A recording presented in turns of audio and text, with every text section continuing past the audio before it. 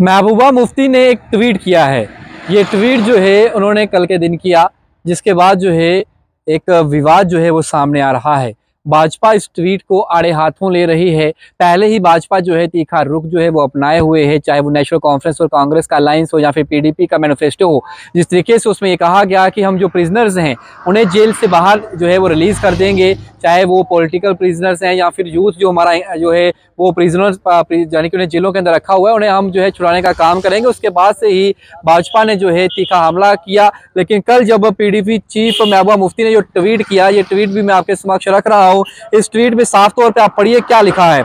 इसमें लिखा है कि मैं अपने कैंपेन को जो है वो कैंसिल कर रही हूँ और जो मेरी सॉलिडिटरी रहेगी, वो जो मार्टर्स हैं अगर बात करें जिनकी जो शहीद हुए हैं लेबानन और गाज़ा के अंदर, स्पेशली हसनान नासरुल्ला की बात की जा रही है इसमें, वो उनकी शहादत जो है वो उनकी शहादत पर जो है एक दिन का कैंपेन जो है वो कैंसिल करने के पक्ष में है और ये ट्वीट कर कर वो जानकारी दे रही हैं। और ये कह रही हैं कि मैं स्टैंड कर रही हूँ, जो फ़लस्तीन के लोग हैं, लेबानन के लोग हैं, और इस तरीके से जो इस समय दुख की घड़ी उन पर चल रही है, उसके लेकर मेरा जो संपत्ति है, वो उनके साथ है, और मेरी जो सॉलिडरिटी है, वो उन शहीदों के साथ है, जिन्होंने उसमें जान गंवाई है। तो अब आप सोचिए कि पीडीपी चीफ का ये ट्वीट जो है, वो किस तरीके से लिया जाएगा?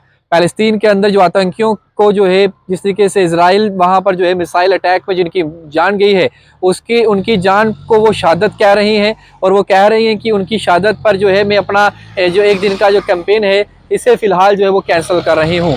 तो भाजपा तो पहले से ही देखा रुख जो है वो अपनाए हुए है और तीखा हमला जो है इस अलायंस पर और पीडीपी पर कर रही है कि वो कह रही है कि जिस तरीके से पीडीपी जो है, ये कह रही है मैनिफेस्टो में कि हम क्रॉस बॉर्डर जो ट्रेड है वो खोलेंगे, पाकिस्तान से बात करने का रास्ता खोलेंगे। बाकी वो तमाम चीज़ें जो पाकिस्तान के साथ होती थी वो खोलनी चाहिए। और लगातार पाकिस्तान का राग लापती है पीडीपी और एनसी भाजपा, ये लगातार कहती हुई और लगातार ये कहा जा रहा है कि ये ये अलायंस जो है और जो पीडीपी जो है, ये अलगावाद और आतंकवाद को बढ़ावा देने वाली पार्टियाँ हैं। और जिस तरीके से पाकिस्तान समर्थन कर रहा है इस अलायंस को और तीन सौ पैंतीस से का जो एब्रोगेशन हुआ है, उसे रिस्टोर करने के लिए पाकिस्तान कह रहा है कि हम सेम पेज पर हैं और जो पार्टियाँ यहाँ पर कह रही हैं कि उन्हें रिस्टोर किया जाएगा, हम भी उनके साथ खड़े हैं।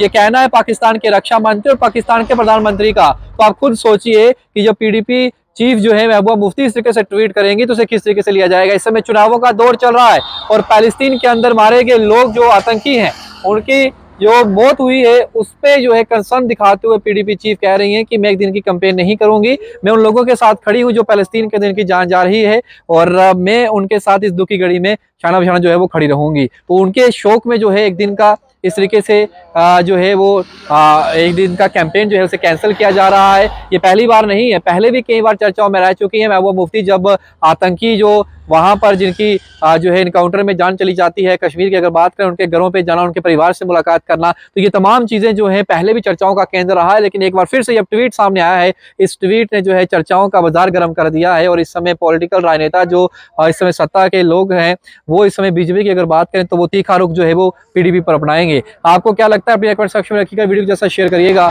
तो के साथ, शुभम लंगे, बहु एक्सप्रेस करिए